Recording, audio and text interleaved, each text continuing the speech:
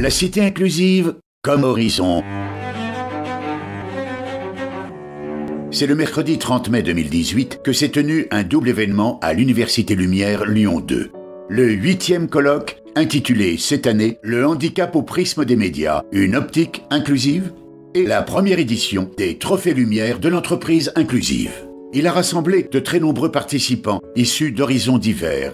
Cet événement a bénéficié de la présence de Madame Nathalie Domnier, présidente de l'Université Lumière Lyon 2, de responsables politiques et d'élus locaux et nationaux. Madame Sophie Cluzel, secrétaire d'État auprès du Premier ministre chargé des personnes handicapées, a accordé son haut patronage. Pour construire une société réellement inclusive, les personnes handicapées doivent être visibles dans les médias, à hauteur de leur représentation dans la société. Intervention de Charles Gardou, professeur à l'Université Lumière Lyon 2, responsable de ce double événement et organisateur avec son équipe et les étudiants du master référent handicap. Ce que nous avons essayé de faire, c'est justement bâtir ces colloques sur le croisement des points de vue. Et parmi ces points de vue, il en est d'essentiel, c'est celui des personnes qui vivent le handicap au quotidien. D'où la place de ces personnes dans les débats aujourd'hui, où nous les écouterons, parce qu'ils sont souvent dépossédés d'un droit essentiel qui est le droit à la parole. Moi, ce que je demande quand même aux journalistes, c'est de prendre les personnes en situation de handicap au bon niveau. Il y a une responsabilité dans ce domaine-là entre les médias et la société. Et je pense qu'il y a encore des progrès à faire. Pour encourager les acteurs de la communication et des médias à valoriser le public en situation de handicap, il faut que nous-mêmes, nous soyons des vecteurs de communication. Parce que je pense que c'est comme ça qu'on peut faire changer les choses. En évoquant euh, la recherche universitaire, c'est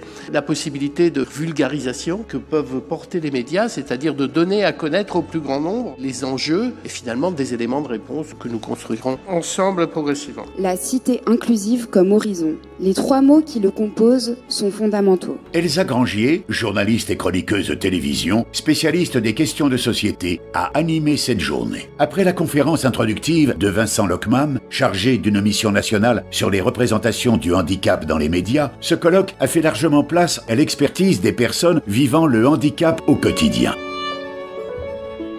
Réaction.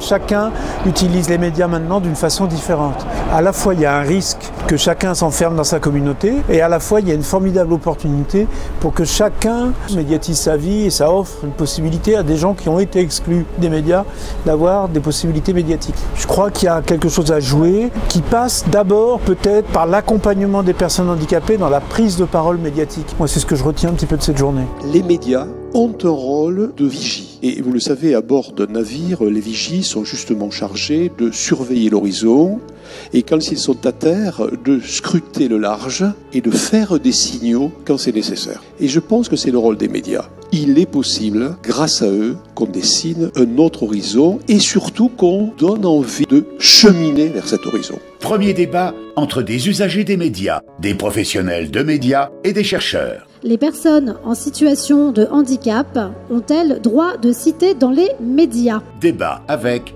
Lassen R. Rajaoui, président national de l'association Nous aussi.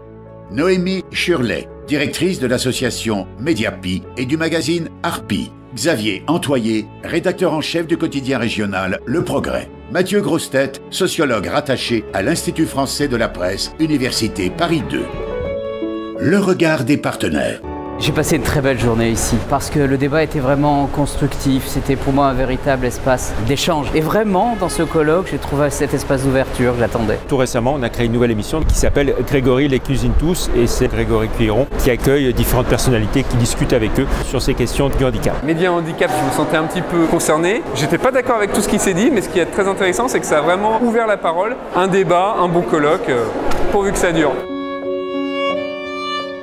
Deuxième débat entre des acteurs des médias spécialisés, des médias généralistes et des nouveaux médias. Les médias traditionnels et les nouveaux médias contribuent-ils à promouvoir une société inclusive? Débat avec Jean-Marc Maillet-Contoz, fondateur du magazine En Direct, Sophie Massieu, journaliste, réalisatrice de la série documentaire Dans tes yeux sur Arte, Emmanuel Dalseco, journaliste à handicap.fr. On verra si les débats vont aboutir à ce que l'on espère, c'est-à-dire remettre les médias en selle sur leur rôle en tant qu'acteurs d'inclusion et de se dire que finalement, s'ils tendent la main au handicap, ils vont élargir leur offre médiatique et élargir leur de vue sur la société. Troisième débat entre des référents handicap, des représentants du CSA et d'écoles de journalisme. Comment agir sur la culture médiatique, la travailler, notamment par la formation des professionnels?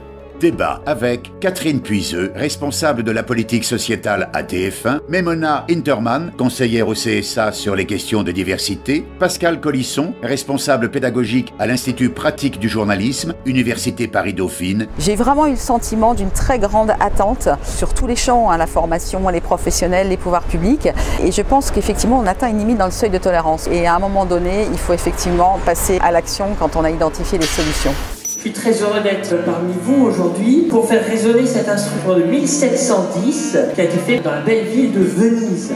Les organisateurs remercient vivement l'ensemble des partenaires, des entreprises, des participants pour leur implication effective et la confiance qu'ils leur ont témoignée. Aucun temps ne peut se priver d'horizon, qui est une ligne imaginaire que l'on n'atteint jamais, mais qui a un avantage, c'est qu'il donne l'énergie d'avancer. La cité inclusive comme horizon pour les médias, pour l'entreprise, pour chaque acteur social, pour tous.